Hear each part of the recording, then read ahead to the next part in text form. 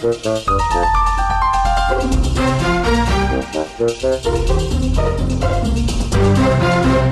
semana hemos empezado a conocer las primeras sentencias en torno al tema de las preferentes. El lunes eran Nova Caixa Galicia Banco y ayer BNP Paribas. Además, hoy mismo hemos sabido que la entidad gallega afirma que quieren resolver este tema cuanto antes y que lo harán mediante proceso de arbitraje. Se calcula que solo en este banco podría haber unos 43.000 clientes afectados. Como se trata de un tema complejo y de difícil solución, la oficina del inversor de Asimber ha elaborado una guía práctica para saber cómo actuar ante ellas. Nos dicen en primer lugar que podemos denunciar al banco, que mejor una acción individual porque cada caso es diferente y que hay que reclamar formalmente toda la documentación y que si éste no la admite, presentar alegaciones. Tras este trámite se podrán iniciar ya las acciones legales. En segundo lugar, nos podemos quedar como estamos y seguir cobrando el cupón anual que nos ofrece la entidad.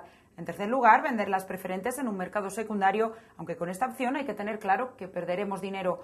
Y en cuarto lugar, aceptar la oferta de canje de la entidad. Dicen los expertos de Asimber que esta, la mejor opción es apostar por las acciones.